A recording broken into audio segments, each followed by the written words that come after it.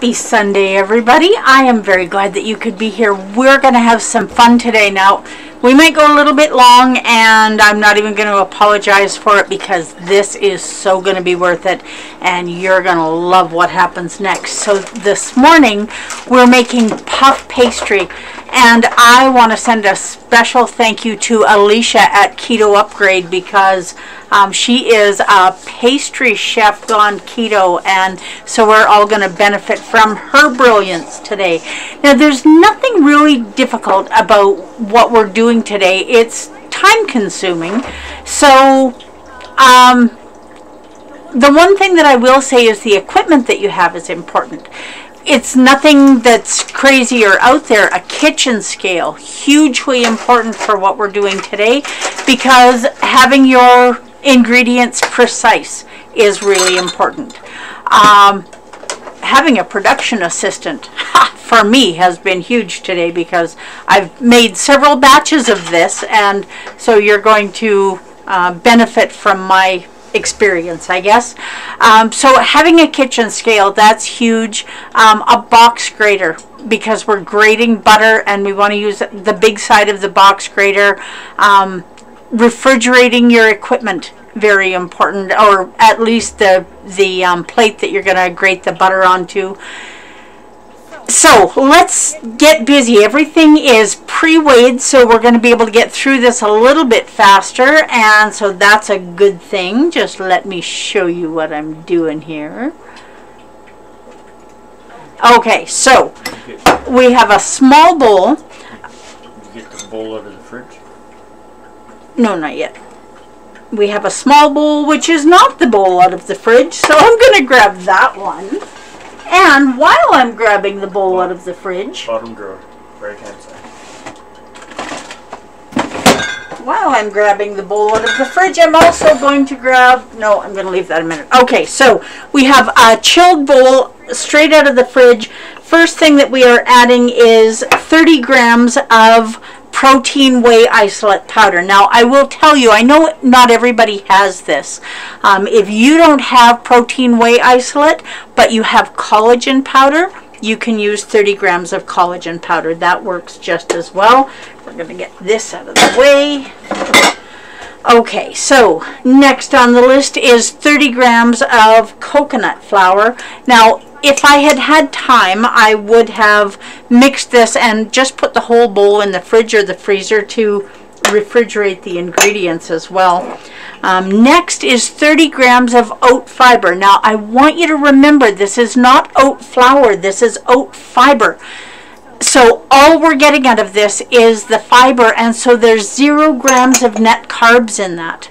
Okay, that's important, oat fiber we're adding just a pinch of um, Redmond's real salt and one teaspoon of xanthan gum. So these are all of our dry ingredients. And one teaspoon of gelatin. We're not going to bloom it. We're not doing anything amazing with it. We're just doing one teaspoon of gelatin. And that is it for our dry ingredients. Now mixing this together and now I like touching raw dough about as much as I like touching raw meat. So I will tell you that these vinyl gloves are absolutely my friend. And I have a burn on the back of my hand, so I want to make sure that I keep that covered anyway. And just going through this, you can put it through a sifter. Everything in here is very fine. So um, it'll go through a sifter really well, but just giving it a quick mix with your hands and making sure that there's no big lumps of coconut flour.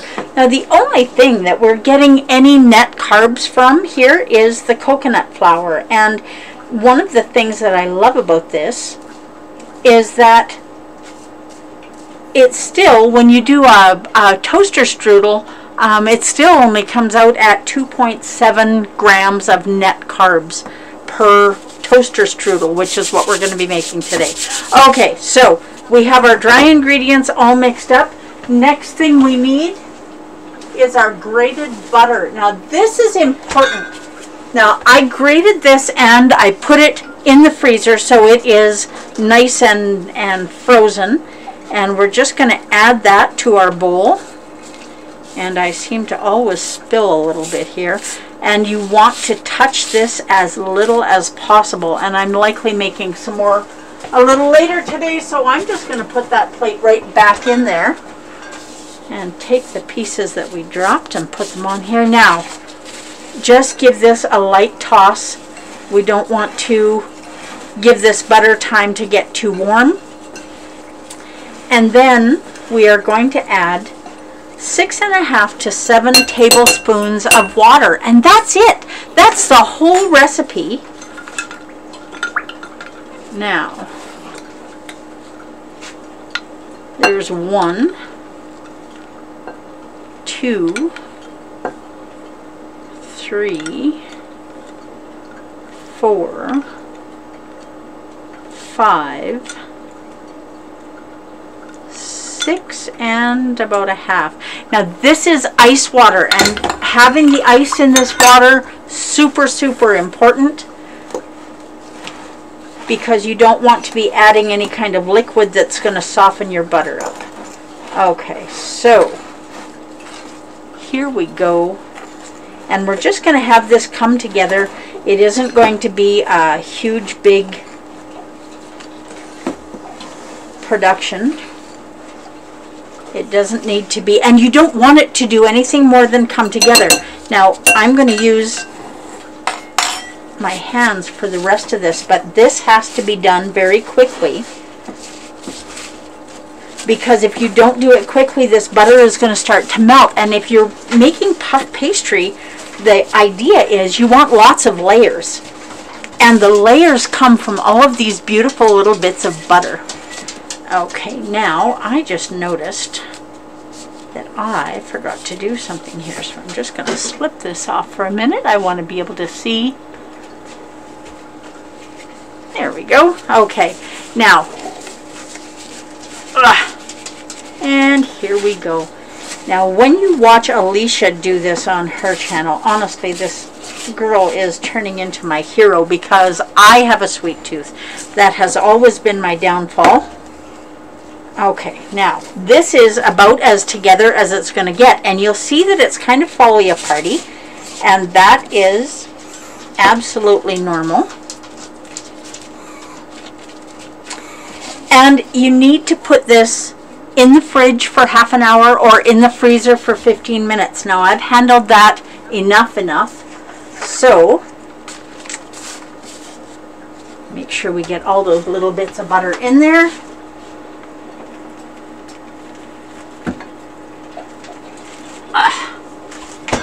Now this is one that has been chilling, so it's ready for us to use and I'm going to just swap the bags here and put this one in the fridge. Now in order for us to make this rough dough into puff pastry, it takes a little bit of love and attention. Good morning, Mom. Good morning, Dell. So this isn't a lot of work. It's a lot of hanging around waiting. Hurry up and wait. Okay, so that is going back in the fridge. Now that'll be in there for half an hour. Now the next thing, we need to get rid of this bowl. Now you want a little bit of um, oat fiber. And when I was making a, uh, this batch that I'm holding in my hand that I need to quit holding, Dell asked me why I was using oat fiber um, to dust it with and to dust the, the countertop with. And the reason that we're using oat fiber rather than the coconut flour is because oat fiber has no net carbs. None. It's just fiber. So, it is really important. This will stick. It's got a lot of butter in it. So this is going to stick to your counter a lot or to your rolling pin if you don't if you don't dust it. So use as little as as possible because we don't want this to get super sticky. We'll get that out of the way. And just set our oat fiber over there out of the way. Now, we're going to roll this. Now, this is where we get our layers. You want to keep turning it and kind of roll it into a a rectangle kind of thing. That is not very rectangle-y. And I'll show you why we want to kind of keep it rectangle-y if we can. And so you see the edges are breaking apart as I'm rolling this. And that's because this is the first time that we've done this. As we work this dough a few times, it's going to turn very magical. Okay, now we've got this rolled out a little bit. We can go a little bit more. And we're going to do a book fold. So you take one end, pull it into the middle, and you take the other end and pull that into the middle. If you have a bench scraper, that's awesome. Now I've got a little bit of extra oat fiber here. Now oat fiber, one of the things that I like about it is that it's not expensive. Okay, so that is a book fold. So fold it into the middle from the end and when you've got it out, when it's nice and cold, we can do this two times. Now, every time we fold this, so now we have four layers, this is going to stay as layers. So we're going to have this beautiful, flaky puff pastry that just in my brain should not even be possible when you're on keto. And yet, here we are. And trust me when I tell you, it is possible. Okay, now you want to watch your dough and make sure that it's not sticking to your counter.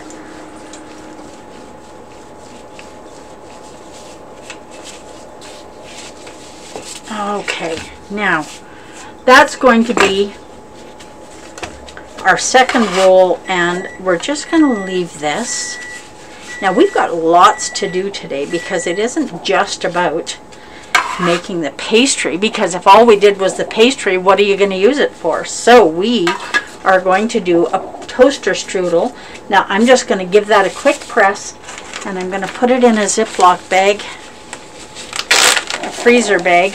Now this is something that you can make and freeze so that you always have it on hand. So the big reason that I went looking for a puff pastry recipe that was keto was um, a recipe that I have now for French onion soup that used to be an absolute favorite. In the fridge for half an hour, in the freezer for 15 minutes, and then you can roll it out again. And so watch what happens next. One bag in, one bag out. Now you want to do this two or three times. Now this has already been done twice and it's been in the fridge for over half an hour and I'm just going to set this bag aside because I will be using now you can maybe see I hope you can see that the the texture of this now I don't want to handle this too much but the texture of this is different. It's not cracking as much as the other one was. So now what we need to do with this is roll out a square. We're going to do this one more time and then we're going to roll out a square. Now you can see how these layers are coming apart and we need to incorporate them back together. And keep moving it, it's less likely to stick to your countertop.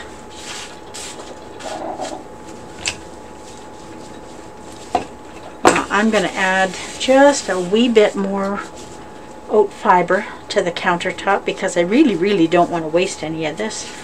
You scrape it off with a bench scraper. You don't get to enjoy it in a toaster pastry. Okay, now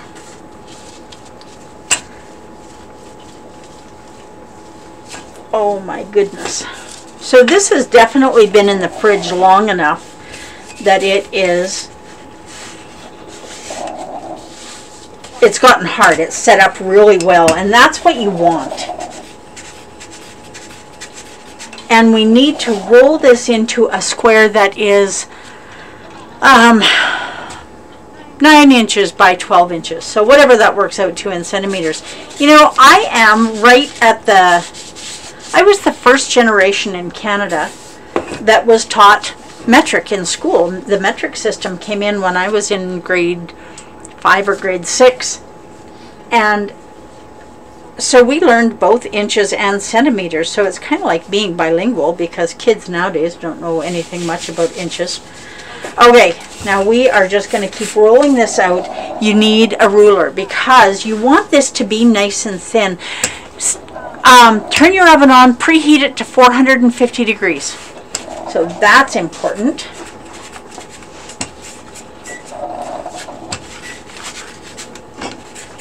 Okay, now this is definitely, definitely being a little bit stubborn.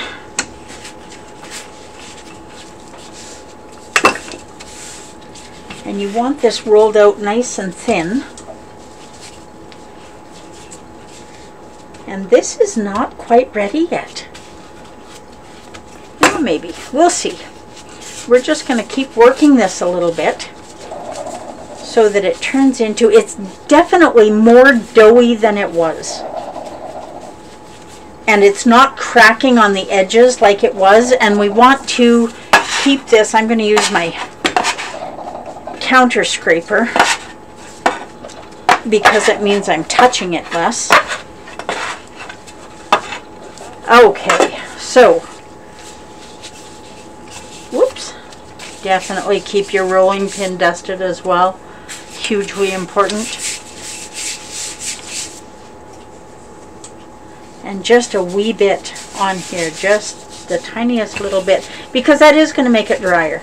Okay, now I am really beginning to understand why she did this as a YouTube video rather than a live because it takes a while to roll us out and we're going to just tear off a little piece from here because we need some to fill in this gap.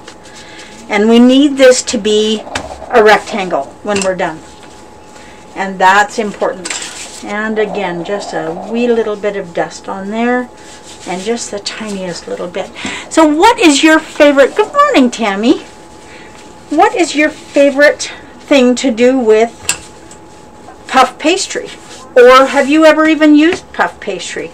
I said to Dell earlier, it's probably a good thing that I didn't know how easy this was to make because I would have been making it before we were doing keto and that's not a good thing.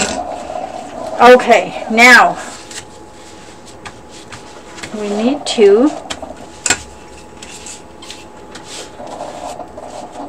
Ugh. Oh, now see? I'm the one saying dust your board, dust your counter, and here I am sticking to the counter just a wee bit. Okay, there we go. Now this is not a perfect square, but I am going to start measuring it because you need the squares for our toaster pastry to be even, even, even, even. Now if you have a piping bag, you can use that for one of our steps. So what do you absolutely need for this? Well, you need a bench scraper or a pancake clipper. You need a ruler so that you can tell we are almost there.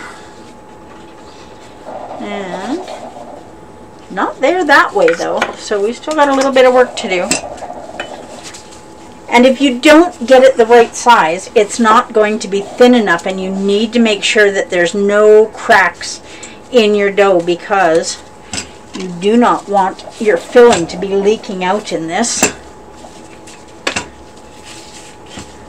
Okay, so we're long enough, but we are not wide enough. So let's see how we are here. This is too too thick in some spots, not thick enough in others. But when the net carbs in this are so low, hi Willie, how are you?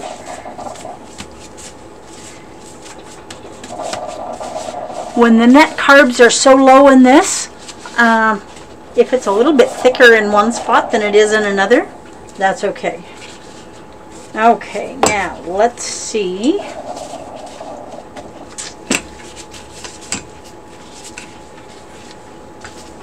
Okay. Now this is not square, square, or rectangle.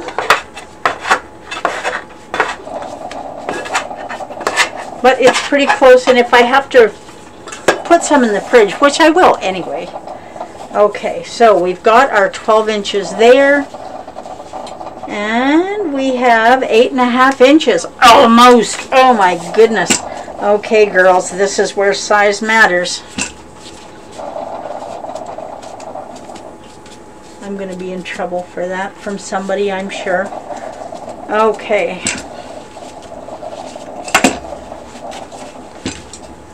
This way, make sure that this is all even.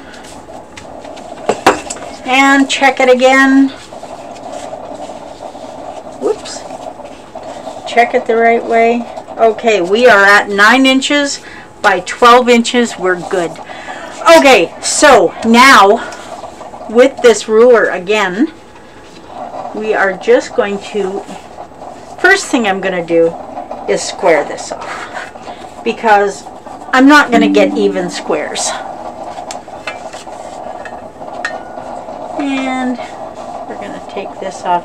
Now this is going to mean that we're not going to get, we're not going to have exactly 12 inches or 30 centimeters. So we'll work with that and I will use that in the next batch. So now, how long are we now? We are at 11 and a half inches. So I am just going to mark three inches, three inches, three inches.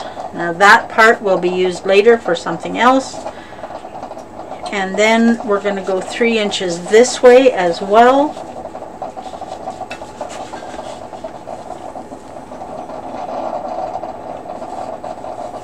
Oh, yeah, well that wasn't exactly straight. Oh well.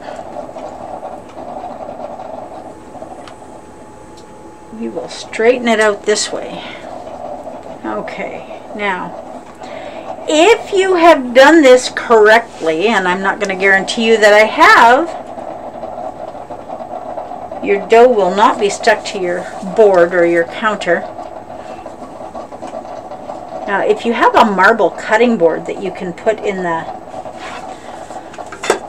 in the freezer or the fridge to keep it cool. Now we're done with that and we have these little 3 inch by 3 inch squares that are not all cut but they will be momentarily and we'll stretch this one out a little bit.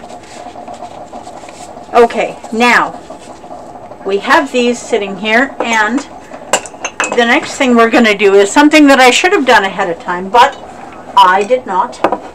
So,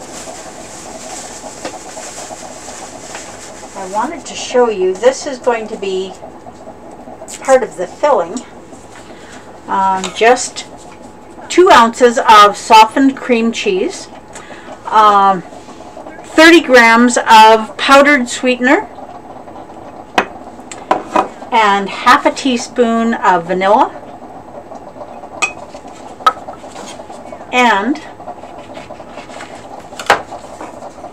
about half a teaspoon to a teaspoon of fresh lemon juice. You can add a little bit more if you want. I like lots of lemon. And I just went and stocked up on lemons yesterday because I am also going to be doing a keto lemon meringue pie. Yes, it's a thing. Okay, now we have that done. Grab a fork and we're going to mix this up and then we're going to put it in a sandwich bag. You want to make sure that this is nice and smooth. It's best if you can put it in the freezer for a little while and get it nice and stiff. But I haven't done that today, so we're going to wing it. Okay, now the first batch that I made, we're going to do, uh, we're going to do a strawberry cream cheese toaster strudel today. Now I am just going to pour this in here.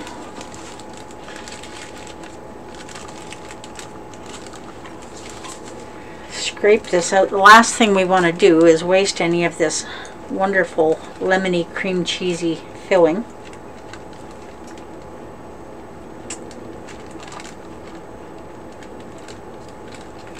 And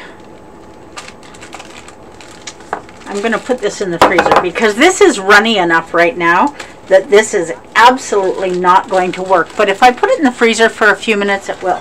All right, so up here it goes. We'll set it up there on that plate. And for today,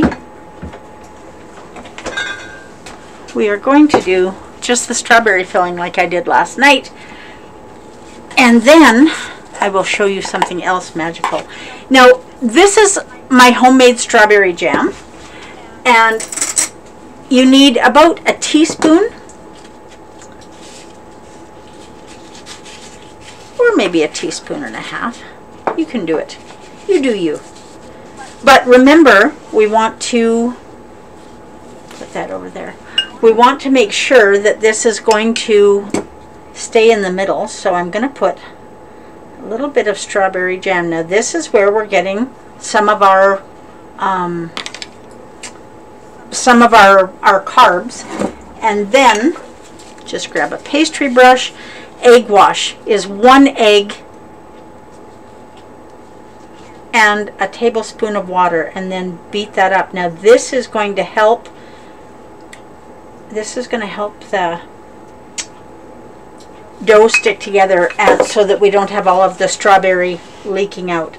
Now a lot of times when you're doing a pie or I don't know, anything with pastry, you want to use a fork to press this down. But with this particular recipe, you definitely want to use your fingers. This needs to be really well pressed down. And then just grab a little knife. So I was using my bread lame last night but I know not everybody has one of these and you don't have to have one and we're just going to poke three or cut three little slits in it and then either on um, a non-stick pan or parchment paper on a sheet pan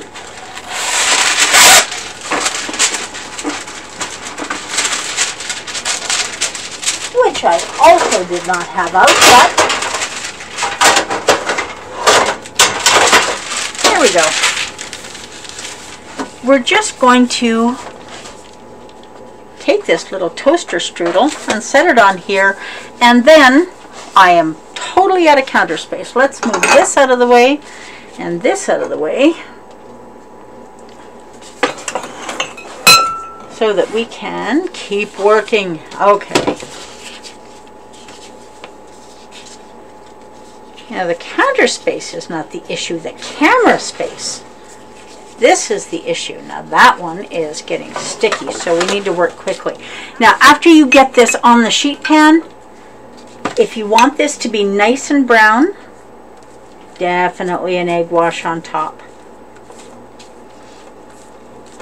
and then into a 450 degree oven for 15 to 20 minutes. Now that's going to depend in large part on your oven.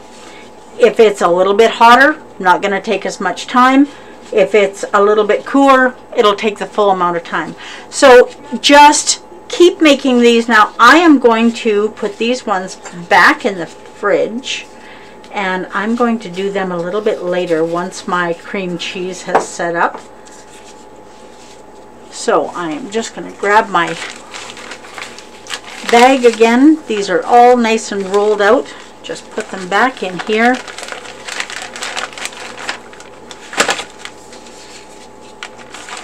But let me show you what happens next. Okay, now these can go back in the bag, or back in the fridge. You want to make sure that they're not too too sticky together. Now this one is ready for the oven. So let's pop this in the oven for 20 minutes. Even though it's all warm by itself. And when it comes out of the oven, look at what you have. This amazing toaster strudel and my my apron is just leaving. Hmm. Okay, now this needs some icing on top. So we're going to take um, 45 grams of powdered sweetener. Now I'm playing with allulose right now because I just got it for the very first time. So um, to my 45 grams of allulose, I'm adding a quarter teaspoon of vanilla and 60 milliliters of cream.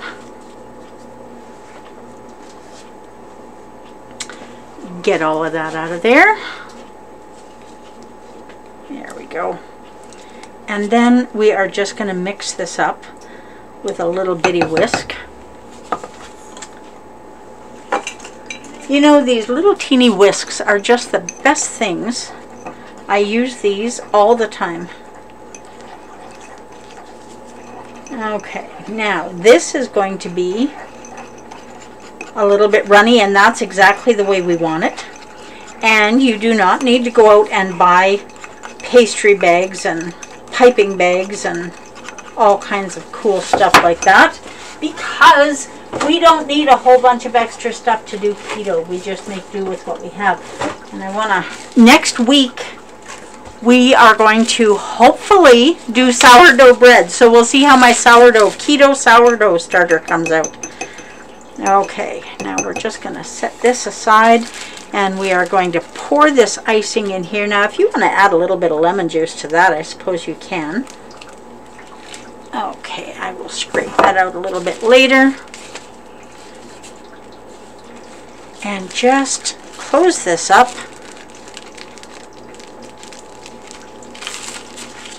And you want just the teeniest, tiniest little hole that's nice and runny. So you want to make sure that you've got it tipped to the other side. And make sure that you don't get that little teeny piece of plastic that you cut off in your... And then we are just going to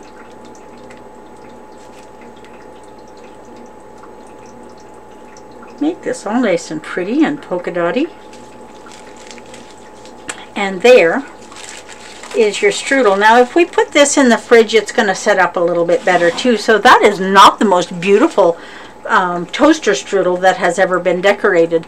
But I guarantee you that it is a yummy toaster strudel. Let's just cut into this and take a peek at what happens. Oh, now I don't know if you guys are going to be able to see this. Now this one was just done with strawberry and there is just layers and layers and layers of flakiness on this. It is absolutely beautiful. If anybody had told me before I saw the video that I saw for this that you could do this on keto, I would have told them they were nuts. And am I going to do a taste test? Oh yeah, I am definitely doing a taste test.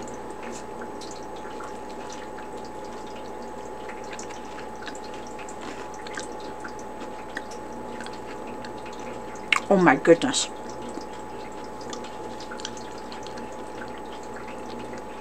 Now this does not have the cream cheese part of the filling in it, but this is absolutely amazing.